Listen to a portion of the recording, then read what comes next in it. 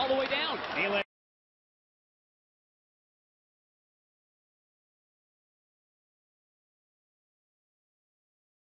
With speed to the outside with a shot. He scores!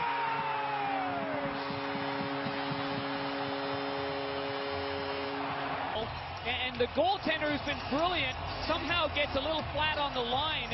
And then his, his position here, as you can see, he goes down, leaves the top corner.